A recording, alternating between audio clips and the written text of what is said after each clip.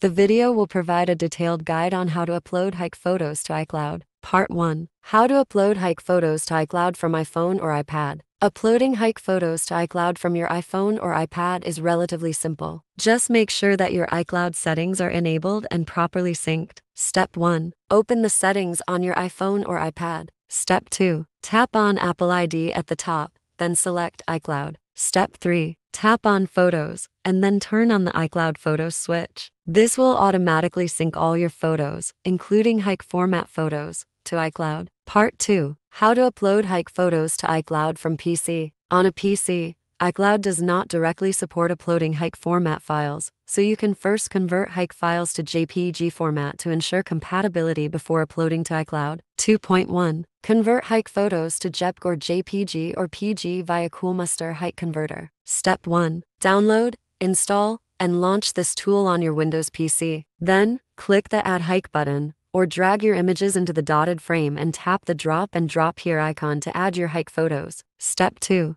After importing the HEIC photos, select the images you want to convert and choose JPG, JPG, or N as the output format. If needed, enable the Keep EXIF data option to retain the image's original information. Step 3. Adjust the quality settings and specify an output folder on your computer to save the converted files. Then, click the Convert button to transform HEIC to JPG or N. 2.2 Upload converted photos to iCloud. Once you've converted the HEIC format to JPG, you can upload the photos directly to iCloud using iCloud.com or iCloud for Windows. For iCloud for Windows, Step 1 Download and install iCloud for Windows from the Apple website or the Microsoft Store, then launch it. Step 2 In the iCloud application, check the box for photos, then click on the Options button next to it. Ensure iCloud Photo Library is enabled, then click Done and Apply. Step 3. Launch File Explorer on your Windows PC. In the navigation pane, find and select iCloud Photos. Step 4. To upload photos,